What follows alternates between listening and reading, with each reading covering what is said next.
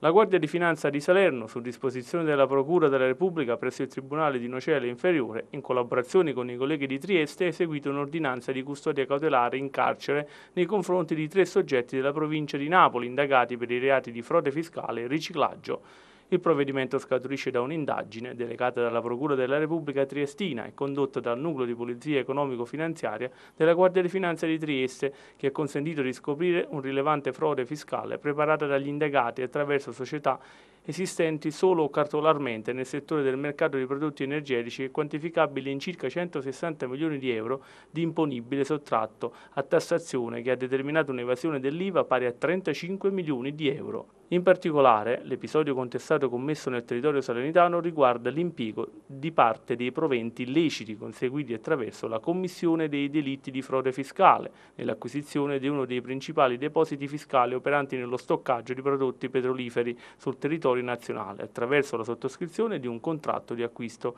rogitato presso un notaio di Scafati.